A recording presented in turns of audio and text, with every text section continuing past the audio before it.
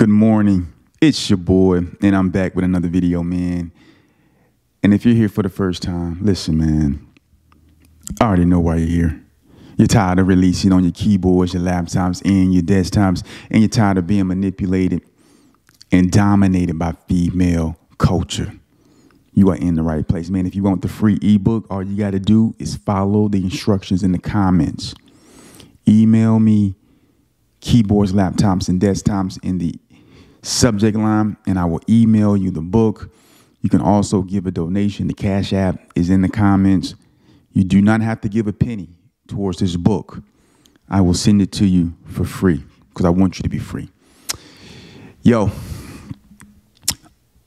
this this video is about being despised. When you start practicing semen retention, when you start basically living a life for God and you begin to clean your life up sexually and you begin to get rid of the filth, you will begin to encounter spiritual battles that you weren't encountering before.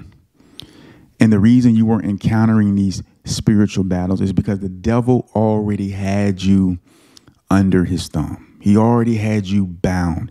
He already had you captive in his cell, in his chambers, in his dungeon, because you were living a life of filth. You were offering up your seed as sacrifices to Satan.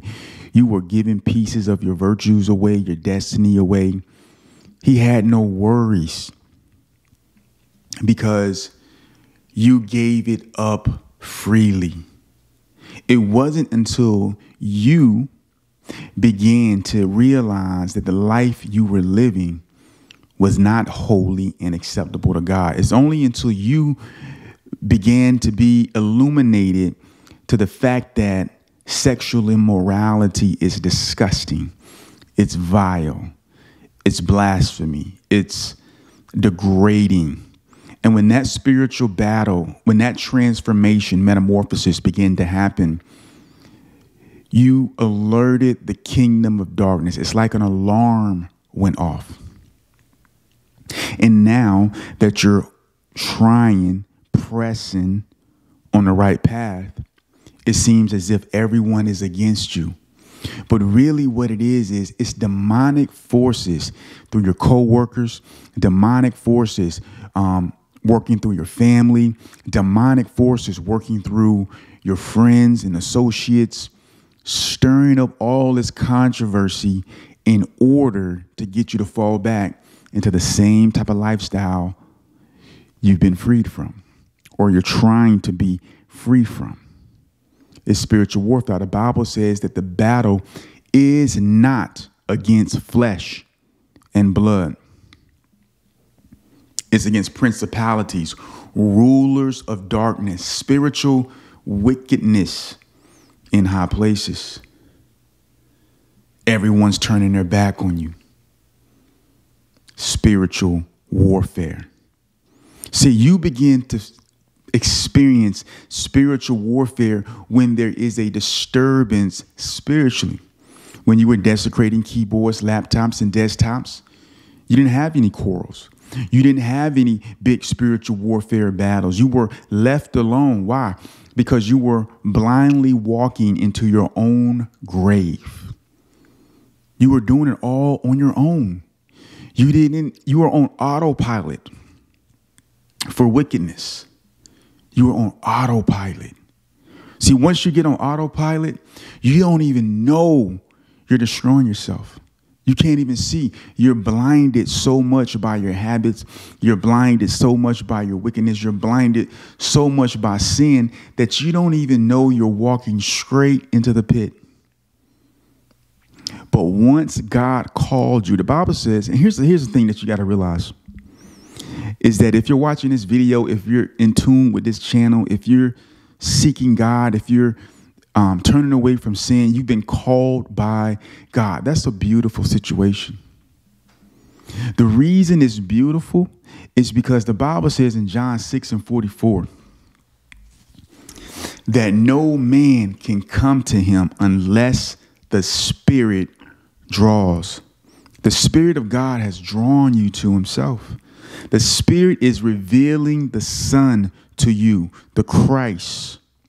Jesus. He's revealing him to you. And as a result of Jesus being revealed to you, you're having that same experience that Isaiah had in Isaiah chapter 6 when he saw the Lord in the temple and the train of his robe filled the temple. And when Isaiah saw the Lord sitting on the throne, he said to himself, I am a man of unclean lips. See, this is what happens when you experience the Christ, when you've been regenerated you realize who you are, and what you've done. And then you begin to work on shedding those evil habits, those sinful behaviors. And when you do that, you're going to be despised. You're going to be hated. Why? Because now you've initiated a war. War has begun. That's where your flesh begins to war with your spirit. They're no longer in unison when your flesh and your spirit were in unison, you had it gravy, you had it easy. But the moment you rebelled against the system, the moment you started seeing that you're living in a sinful matrix, that's when the agents, shout out to one of my favorite movies, The Matrix, begin to attack you, when the demons begin to attack you. How do we, how do they attack? They attack you through people. That's what spiritual warfare is. People out there want to kill you, bro. There's people in your circle who want you dead. The Bible says in Micah chapter 7 verse 5, it says, "Do not trust your neighbor." It says, "Do not put any confidence in a friend." And it says, even the woman who lies in your embrace, guard your lips. This is the woman. This is your woman.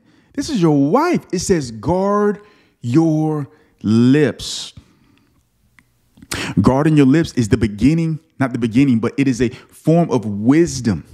Why? Because the information that you give about your plans, the information that you give about your goals, this information will be taken and attacked. Samson didn't guard his lips. The woman lying in his embrace, he spilt the beans and he got his eyes gouged out by the Philistines. You are despised. The people you think love you, they don't really love you, bro. You have to become comfortable with being despised because it's not going to change. You are hated. Jesus says, Woe to you who have all these friends and all these people like you. Woe unto you.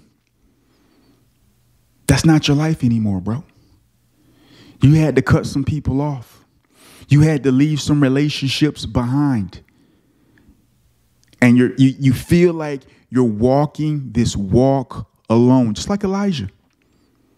But God had to show him, he had 7,000 other men, people who did not bow their knee to Baal. God will put people in your life that you can build with, He will put people in your life that you can war with. But you can't be uncomfortable being despised. If they hate you, it's for a good reason. Don't let it get you down. Don't start feeling sorry for yourself. It is an honor to suffer for the sake of Christ. They don't like you, bro. They never will. They really want you to expire. People will go as far as to go to a voodoo priest, go to a sangoma, go to a natural healer in order to cast spells on you in order to injure you, to destroy your destiny, to steal from you. You have to be comfortable with being despised. God is with you, bro. He is with you, right? When you begin to retain your seed, you're no longer watching pornography, you're no longer fornicating, uh, sleeping with women, um, getting drunk in bars when you're no longer living that dirty lifestyle, a war will begin and people will begin to hate you. But what you got to realize is you have to look past the flesh and know that this is a spiritual thing. There's demons working through these people at your job. There's demons working through your family, your friends, people trying to get information from you. All of this is to destroy and to stop your progress. That's why you have to be in the secret place. That's why you have to establish a prayer altar. And that's why you have to be consistent with going to that prayer altar because the more consistent you are with going to that prayer altar, the more you're going to be able to hear from God. The more you're going to be able to get that intel to see what the plans of the enemy are for your life. And you're going to be able to derail those plans um, by simply shutting them down in the spirit as soon as you wake up. I hope you guys got value out of this video. Be encouraged. Be encouraged, man. Don't feel sorry for yourself because your enemies have risen up against you. One of my favorite passages in scripture is Psalms 27. And it says, The Lord is the light of my salvation. Whom shall I fear? The Lord is the strength of my life. Whom shall I be afraid?